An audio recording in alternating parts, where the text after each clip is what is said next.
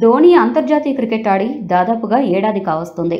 గత ఏడాది ప్రపంచ కప్లో చివరిసారిగా ఆడిన ధోని అంతర్జాతీయ క్రికెట్లో ఆ తరువాత కనిపించలేదు.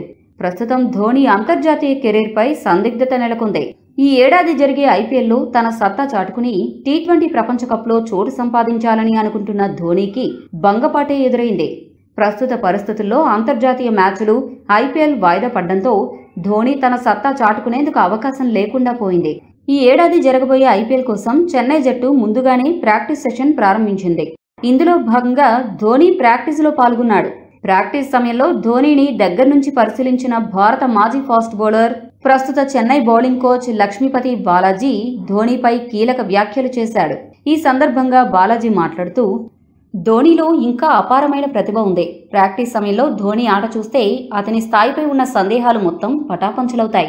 అతను తిరిగి జట్టులో చోటు సంపాదించుకోవడం ఖాయం. ధోని సహజ సిద్ధమైన ఆటగాడు. అతడు అంతర్జాతీయ క్రికెట్కు కొన్ని అనివార్య కారణాల వల్ల దూరమైనప్పటికీ సత్తా ఏమాత్రం తగ్గలేదు.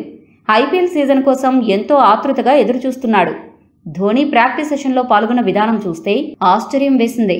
బ్యాటింగ్ వికెట్ కీపింగ్ రంగంలోనూ మునుపటి స్థాయిలో ఆడగలుగుతున్నాడు. ముఖ్యంగా భారీ షాట్లు కొడుతున్నప్పుడు ప్రాక్టీస్ సెషన్ అయినప్పటికీ స్టేడియం దద్దరిల్లింది చూస్తున్న ఆటగాళ్ళు కూడా పులకించిపోయారు. ఈ సంవత్సరం ఒకవేళ ఐపీఎల్ నిర్వహిస్తే ధోని విధ్వంసం సృష్టించడం ఖాయమని తెలిపాడు బాలాజీ. మరి ధోని మెరుపులను అభిమానులు స్టేడియంలో చూడాలంటే మాత్రం మరికొన్ని రోజులు ఆగాల్సిందే. ఈ వీడియో కనుక మీకు నచ్చినట్లయితే లైక్ షేర్ కామెంట్ చేయండి. మరిన్ని ఆసక్తికర అంశాల కోసం మా ఛానల్ని సబ్స్క్రైబ్ చేసుకోండి.